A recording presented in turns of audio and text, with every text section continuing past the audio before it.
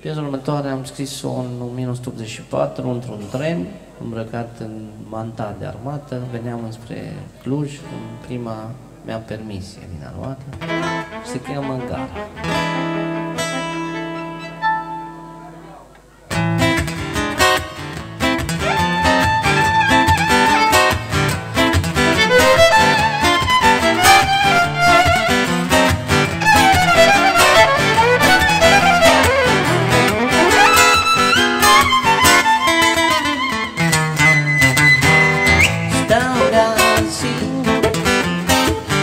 betão postil